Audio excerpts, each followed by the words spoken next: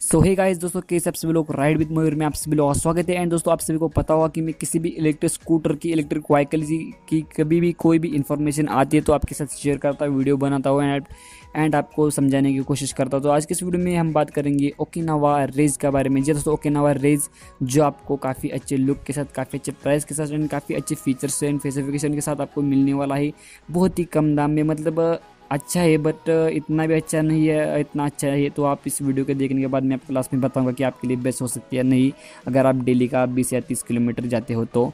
सो इस वीडियो को पूरा ज़रूर देखना, आप हम यहाँ पर पूरी तरह से इसके स्पेसिफिकेशन के बारे में रेंज के बारे में बात करेंगे बैटरीज के प्राइस के बारे में बात करेंगे। सो चलिए हम बात इस वीडियो को शुरू करते हैं। सबसे पहले हम बात करते हैं दोस्तों, इस इस गाड़ी की प्राइस कितनी है।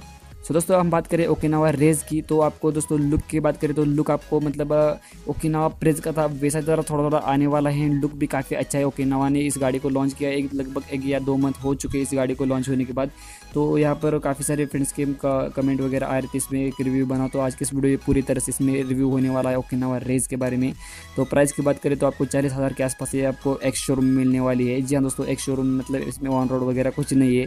इसमें ड्राइविंग लाइसेंस की भी ज़रूरत नहीं है। इसमें आर वगैरह कुछ आपको टेंशन नहीं है। जैसे ओकिनावा का जो रिच थर्टी आया था, वैसे एक इलेक्ट्रिक स्कूटर है। एंड अच्छा है अगर आप मतलब ये दिखने में भी काफ़ी अच्छी लगती है। अगर आप टनवाल वगैरह मतलब कोई भी इलेक्ट्रिक स्कूटर में जाते हैं तो उससे अच्छी, दिखने भी अच्छी अच्छी मतलब लुक आप देख सकते हो सामने। लुक काफ़ी औसम है। तो आपको ड्राइविंग लाइसेंस वगैरह कुछ इसमें रेगुलर नहीं है। तो ये हो गया इसके प्राइस के बारे में। हम बात करें इसमें रेंज की बात की मतलब एक बार चार्ज करने के बाद कितने किलोमीटर जाते हैं बैटरी इसमें कौन सी है एंड चार्जिंग टाइम कितना है। सो बात करें इसमें रेंज के मतलब है कितना किलोमीटर जाता है एक बार चार्ज करने के बाद। तो कंपनी यहाँ पर बोल रही है साठ या सत्तर किलोमीटर बट दोस्तों आपको इसमें पचास या साठ किलोमीटर आप पकड़ लीजिए, साठ किलोमीटर पकड़ लीजिए। अगर आप ज़्यादा स्पीड में जाते तो फिफ्टी या फिफ्टी फाइव किलोमीटर के आसपास पकड़ लीजिए। एंड उसमें बैटरीज की बात करें तो दोस्तों दोस्तों, इसमें आपको लीड एसिड की बैटरी अवेलेबल है। जी हाँ दोस्तों लीड एसिड की बैटरी है, जो आपको इसमें लिथमाइन की बैटरी जल्दी आपको अपग्रेड हो जाएगी, क्योंकि काफ़ी सारे इलेक्ट्रिक स्कूटर में लिथमाइन की बैटरी आ गई है तो इसमें कंपनी ने लीड एसिड की डाली है बट आपको जल्दी लिथमाइन की बैटरी भी मिल जाएगी इसमें, जो दोस्तों, इसमें ज़रा प्राइस का डिफरेंट हो सकता है। तो जो दोस्तों, आपको यहाँ पर जो है लीड एसिड की बैटरी चार बैटरी लीड एसिड की अवेलेबल है। जी हाँ दोस्तों, आपको जो है फोर्टी एट वोल्ट की आपको इसमें बैटरी मिल जाती है, जो कि ट्वेंटी फोर ए एच की बैटरी इसमें अवेलेबल है। एंड दोस्तों इसमें चार बैटरी जैसे कि ओकिनावा प्रेज में सिक्स सिक्स बैटरी है। वैसे आपको इसमें चार बैटरी है जो कि बारह वाट वोल्टेज की एक बैटरी है। जो कुल मिलाकर चार बैटरीज का करें तो फोर्टी एट वोल्टेज का आपको ये बैटरी पूरी पावर सो so, दोस्तों उसके बाद हम बात करें चार्जिंग टाइम की। तो चार्जिंग टाइम की बात करें तो चार या पाँच घंटे में ये बैटरी फुल्ली चार्ज हो जाता है। उसके बाद आप इसके स्कूटर को, इलेक्ट्रिक व्हीकल को चला सकते हो। सो ये हो गया बैटरी एंड द प्राइस के बारे में। हम बस यहाँ पर देखते हैं इसका मेन स्पीड कितना है। मतलब अगर आप स्पीड में ज़्यादा चलाते हो इसमें स्पीड वगैरह कितना आता है। तो स्पीड की बात करें तो कंपनी क्लेम करती है थर्टी या थर्टी फाइव के आसपास। मतलब ट्वेंटी फाइव या थर्टी किलोमीटर पर हर का स्पीड कंपनी क्लेम करती है। तो हमें बहुत ही शौकीन था कि ये इतना कंपनी क्लेम करती है। बट इसमें कंपनी की बात करूँ तो मैं फिर मैंने जनरली देखा है। मैं जल्दी आपको इसमें शोरूम रिव्यू भी डाल दूँगा। तो जनरली मैंने इसका देखा तो फिफ्टी सॉरी फोर्टी फाइव या फोर्टी एट किलोमीटर पर हर इसका स्पीड आता है। जी हाँ दोस्तों, जैसे कि आपको पता हो कि नवा के जो इलेक्ट्रिक स्कूटर इसमें ज़रा थोड़ा कम डिफरेंट होता है। आप Okinawa electric vehicles versus petrol petrol scooter लेते हो तो उसमें ज़रा थोड़ा डिफरेंट आता है। तो ये काफ़ी अच्छा है इसका स्पीड भी। तो उसके बाद हम बात करते दोस्तों सीट की। तो सीट दोस्तों बात करें तो वेरी नाइस सीट मुझे काफ़ी अच्छा सीट लगा है नवा के जितने प्रोडक्ट है, उसमें से काफ़ी अच्छा सीट है। इसमें लेदर जैसा आपको यहाँ पे कवर वगैरह मिल जाएगा। इनका सीट की बात करें तो काफ़ी अच्छा लुक भी देखने को मिल जाएगा।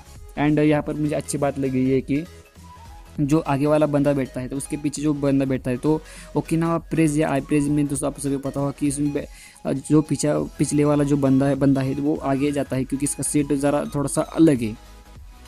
तो इसमें वैसा नहीं है, आपको सीट काफ़ी अच्छा सीट देखने को मिल जाएगा। तो सीट की बात करें तो सीट भी काफ़ी अच्छा है। उसके बाद हम बात करें मोटर की तो इसमें मोटर पावर को मतलब कितना है मतलब कौन सा मोटर है, एंड रेटेड पावर कितनी है? तो मोटर की बात करें तो इसमें 250 वाट की मोटर है, जो B L D C motor है, जो वाटर प्रूफ के साथ आती है, जैसे कि ओके नवा प्रेज के एंड आई प्रेज में, या किसी भी सभी इलेक्ट्रिक स्कूटर में बहुत सारे इलेक्ट्रिक स्कूटर में ये मोटर अवेलेबल है, जो कि रेटेड पावर इतना इसका 250 वाट है एंड मैक्सिमम पावर यहाँ पर कंपनी ने नहीं बताया बट काफ़ी अच्छी स्पीड भी देता है ये मोटर सो so, उसके बाद हम बात करें टायर्स की। तो टायर दोस्तों इसमें 10 इंच के टायर विथ ट्यूबलेस टायर है। दोनों टायर ट्यूबलेस टायर वगैरह है। एंड 10 इंच के टायर है। तो काफ़ी कम इंच के। अगर आप ओके ना आप प्रेज में ज़रा थोड़ा टायर इंच मतलब बड़ा होता है बारह इंच का टायर मिल जाता है। बट इसमें दस इंच इंच का टायर है। जो देखने में भी काफ़ी अच्छा है। एंड स्कूटर की बात करें तो स्कूटर मेरे को तो बहुत ही पसंद आई है। सो so, उसके बाद हम बात करते हैं इस ब्रेक्स की। तो दोनों टायर में आपको ड्रम्स ब्रेक मिल जाते हैं। विथ आपको ई ABS सिस्टम आपको मिल जाएगा जो कि इलेक्ट्रॉनिक एसेंस्टेड ब्रेकिंग सिस्टम आता है जो आपको मतलब गाड़ी में आप ज़्यादा से का मतलब ये है कि अगर आप ज़्यादा स्पीड पे ब्रेक लगाते हो तो आपकी गाड़ी स्लिप नहीं होती। तो इसी कारण इसको ए बी एस बोलते हैं। सो तो चलिए दोस्तों उसके बाद हम बात करते हैं इसके सस्पेंशन के बारे में। इसमें सस्पेंशन कौन सा है? सो so, सस्पेंशन की बात करें तो फ्रंट में आपको हाइड्रोलिक टेलीस्कोपिक का सस्पेंशन मिल जाएगा। एंड रियर की बात करें तो double shocker with dual tube technology के साथ आपको इस सस्पेंशन मिल जाता है जो कि ओकिनावा रेज का है। जो उसके बाद हम बात करते हैं स्पीडोमीटर, इसमें स्पीडोमीटर वगैरह कैसा है? सो सभी इलेक्ट्रिक स्कूटर ओकिनावा के जो आते हैं तो उसमें डिजिटल मीटर आता है। वैसे आपको इसमें डिजिटल मीटर अवेलेबल है, जैसे लाइक ओकिनावा प्रेज या आई प्रेज जैसा बोल सकते हो जो आपको स्क्रीन पर दिख रहा होगा। सो उसके बाद हम बात करें इसमें बूट स्पेस के बारे में। इसमें बूट स्पेस यानी अंडर सीट स्टोरेज जो आपको सीट के नीचे जो स्टोर करने के लिए जगह मिलती है, उसके बारे में। सो उसका यहाँ पर आया है इन्फॉर्मेशन उन्नीस लीटर का। जी दोस्तों, उन्नीस लीटर का। जो आपको एक हेलमेट रख ही सकते हो एंड काफ़ी सारी जगह भी मिल जाती है, जैसे कि आई प्रेस में बहुत ही कम जगह है बट इसमें काफ़ी अच्छा जगह दी गई है ओके नावा ने।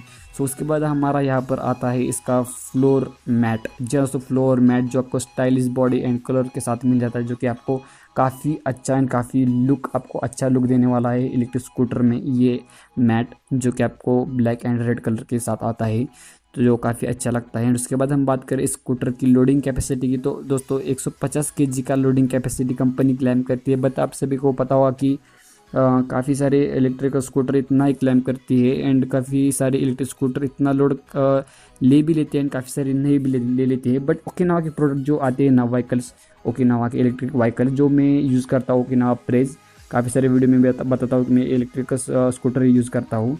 जो मैंने यूज़ भी किया है तो काफ़ी अच्छा इसका फीडबैक है। मतलब इतना तो कंपनी बोलती तो इतना दे, दे ही देता है इससे ज़्यादा ज़्यादा भी दे देता है। तो यहाँ पर हो गया इसके स्पेसिफिकेशन एंड कई सारे इसमें आपको रेंज वगैरह प्राइस हो गया एंड स्पीड वगैरह सब मैंने आपके साथ शेयर किया है। ये इलेक्ट्रिक स्कूटर आपके लिए बेस्ट हो सकती है, नहीं हो सकती, ये लास्ट में मैंने बोला था कि मैं आपको बताऊँगा। तो अगर हम लुक की बात करें तो लुक भी काफ़ी अच्छा है, दूसरे के साथ कंपेयरिंग करें तो जैसे कि रिच थर्टी रिच हो गया तो इससे बेटर ये स्कूटर है। अगर आप डेली का 20 या 20 किलोमीटर के आसपास अगर जाते हो 20 या 30 किलोमीटर तो आपके लिए बेस्ट इलेक्ट्रिक स्कूटर हो सकती है। इसमें आपको ड्राइविंग लाइसेंस आर वगैरह का टेंशन नहीं है, आप आराम से फिर घूम सकते हो। बट इसमें आपको जल्दी इसमें लिथामाइन की बैटरी आ जाएगी तो लिथामाइन भी ले सकते हो। या दूसरा भी कोई फोर्टी एट वोल्टेज का बैटरी आप इसमें डाल सकते हो, अगर इसमें इसकी बैटरी ख़राब होने के बाद तो आपके लिए ये बेस्ट इलेक्ट्रिक स्कूटर हो सकती है। मेरे को भी बहुत ही पसंद आया है ओकिनावा का ये प्रोडक्ट जो ओकिनावा का इलेक्ट्रिक व्हीकल है, जिसका नाम ओकिनावा रेज है। जो ओकिनावा पी मतलब इसका कट किया है, ओकिनावा प्रेज था, वैसे ओकिनावा का जो है रेज है, जो दिखने में भी काफ़ी अच्छा है इसके स्पेसिफिकेशन भी सारे अच्छे हैं, मैंने आपके साथ शेयर किए हैं। सो आपको ये वीडियो अच्छे लगे तो प्लीज़ लाइक ज़रूर करना एंड नहीं है तो प्लीज़ चैनल को सब्सक्राइब और बेल आइकन को ज़रूर दबाना, क्योंकि यहाँ पर आपको ऐसी इलेक्ट्रिक व्हीकल्स की वीडियो देखने को मिल जाएगी। सो चलिए मैं मिलता आपको नेक्स्ट और अमेजिंग वीडियो के साथ। तब तक के लिए take care and good bye